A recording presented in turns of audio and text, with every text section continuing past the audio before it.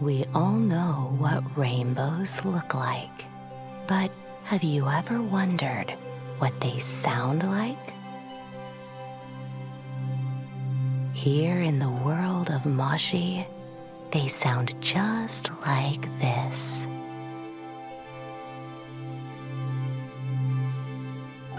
You see, what you're hearing right now is the sound of a huge Moshi rainbow.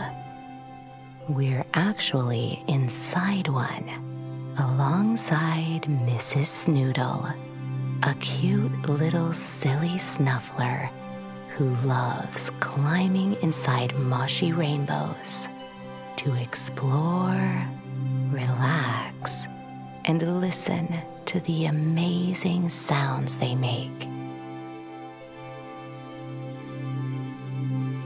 Mrs. Snoodle starts at the beginning of the rainbow. Moshi rainbows often start in Make Believe Valley, just beside the huge waterfall that gushes into Lake Neon Soup, spraying a fine mist of colorful water high up into the air. Mrs. Snoodle climbs on to a big flat boulder by the edge of the waterfall and climbs inside the rainbow.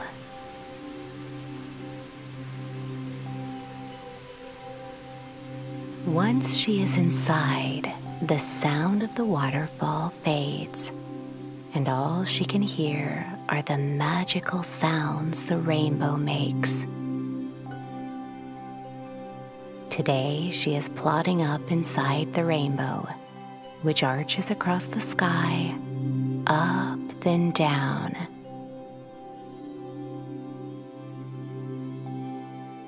Right now, she's in the middle of the rainbow, which is a mix of beautiful colors. She's gazing up into a kaleidoscopic tunnel as if she's climbing up a huge hazy water slide. The sound is very soothing here. But if Mrs. Snoodle wanders to the left or the right, she can enter each individual band of color, and every color has its own sound. What you're hearing right now is the sound of all the colors together. But Mrs. Snoodle is veering into the red part of the rainbow.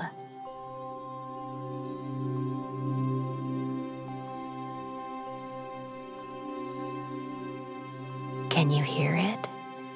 This is what red sounds like.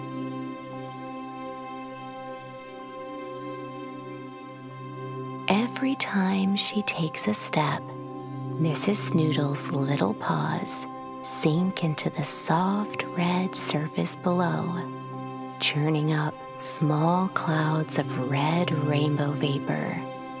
These red vapor clouds drift slowly upwards and gradually disappear like fireworks fading as they fall. When Mrs. Snoodle looks down, she can see the Moshi world below. It's as if she's walking on red tinted glass, only the glass feels warm and squishy. She is quite up high now. She can see Franzipan Farm and the Moshi meadows that surround it. And when she looks behind a little, she can see the waterfall tumbling into Lake Neon Soup, all tinged with a lovely shade of red. It's as if she's wearing red sunglasses.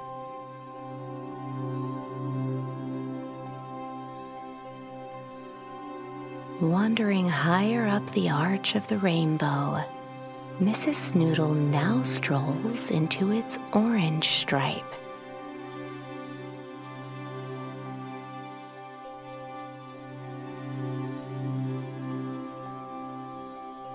It sounds a little different to the red part. She thinks it's even more relaxing. It's like being inside a beautiful sunset. As she walks up the gentle orange slope, Mrs. Snoodle gazes outside. In the distance, she can see her good friend Fluttercup the unicorn soaring through the sky. Unicorns love rainbows, and Fluttercup often likes to gallop along the top of rainbows on the way to her school for unicorns, which is somewhere beyond a rainbow in space. But today, Fluttercup looks as if she's too busy to play. Perhaps she has a class soon? Mrs. Snoodle waves, but Fluttercup can't see her as the rainbow is huge. So Mrs. Snoodle probably looks like a distant dot in the rainbow's orangiest part.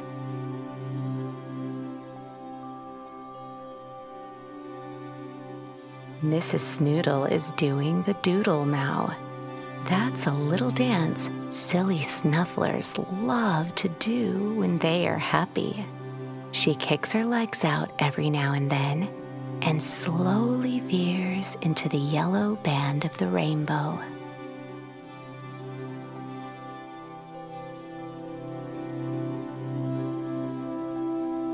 The sound changes as she's bathed in yellow light. It's like being inside a big tunnel of yellow jello. She looks around and wonders if yellow might be the happiest color of all, as it reminds her of sunshine and daffodils. She is still climbing up the arch of the rainbow. As she looks down, she notices she is now up above the snowy peak of mighty Mount Kilimanjaro. The yellowy haze beneath her paws feels warm and cozy.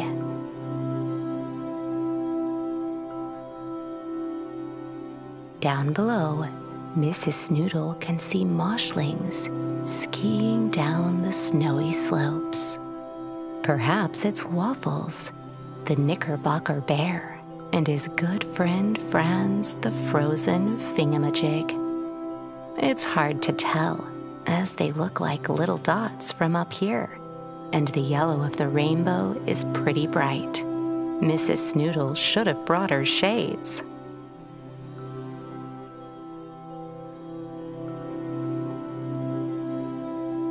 Perhaps it's time to move into another color. She shuffles sideways now into the green part of the rainbow.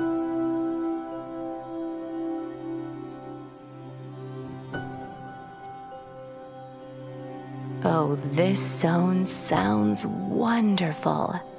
And best of all, Mrs. Snoodle is now walking along inside the top part of the rainbow at its highest point.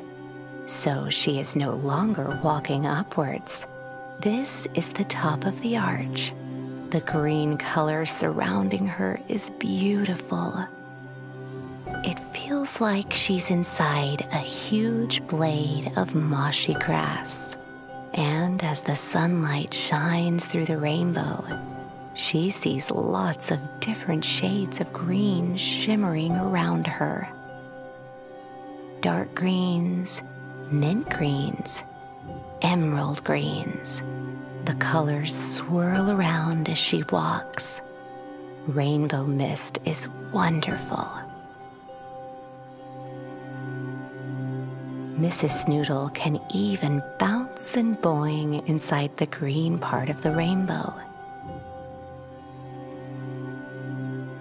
And when she does, she can touch the top of the green stripe with her little nose.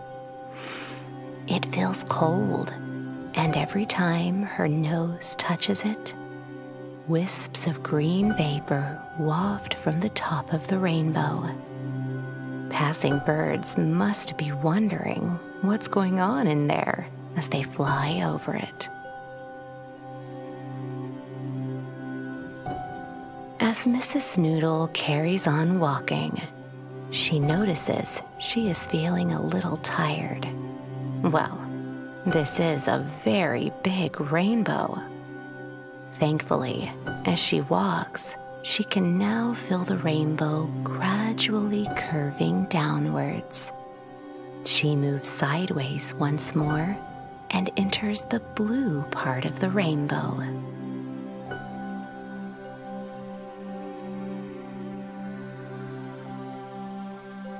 Can you hear that blue sound? It's very soothing. Mrs. Snoodle looks outside and notices that the sun is setting. This blue zone of the rainbow is super calm. It's like walking through a huge blue pipe made from pure sky. And because she is walking down the arc of the rainbow, it feels even more relaxing. Mrs. Snoodle starts to wonder what's at the end of this rainbow. Maybe there's a pot of gold, or a unicorn school. Or maybe Mrs. Snoodle is dreaming, and this rainbow never ends. As Mrs. Snoodle looks up above, she can just about make out the outline of the moon now as it starts to appear in the darkening sky. It's tinged in blue, thanks to Mrs. Snoodle's view from inside the rainbow. Perhaps moshlings up in space can see the rainbow as they look down, Mrs. Snoodle thinks to herself. The downward part of the rainbow is getting quite steep now, so she sidesteps into one of her favorite colors indigo.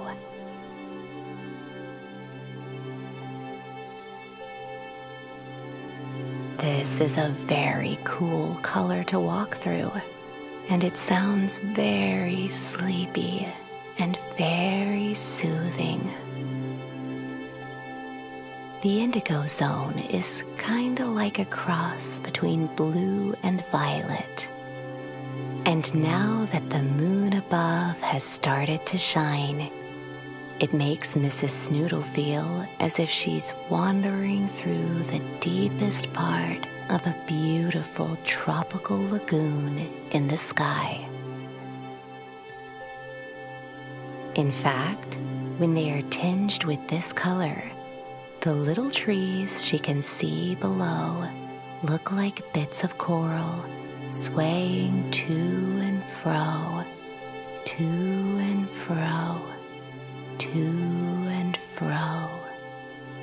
And the stars that are twinkling above the rainbow look like little blue glowfish.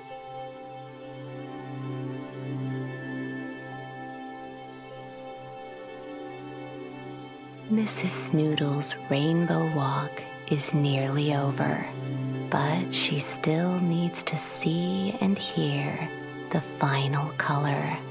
So, as she continues walking down, she wanders into the violet part of the rainbow.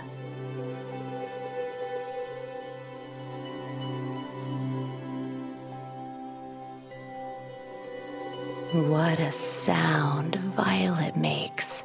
Mrs. Snoodle thinks she might be dreaming. Either way, this color is amazing. A purpley, pinky, bluey mix. The rainbow's curve is getting pretty steep now, so Mrs. Snoodle sits down and begins to slowly slide along the last part of the rainbow, along the dreamy violet stripe. Try to picture yourself sliding slowly down inside the Moshi Rainbow's violet stripe. Wisps of brightly colored vapor whoosh off the rainbow like splashes of water as you whoosh along. The end of the rainbow is close by now, so Mrs. Snoodle slides towards the middle part of the rainbow where all the colors and sounds mix together. Even though she loves all the colors and sounds on their own, she thinks this kaleidoscopic mix of everything is her favorite. Why, it's enough to send her to sleep so Mrs. Snoodle closes her eyes and begins to doze, still sliding slowly along the rainbow's gentle curve. As she listens to the wondrous sounds around her. And so can you. And if you keep listening, perhaps you'll hear what gold sounds like. Goodbye.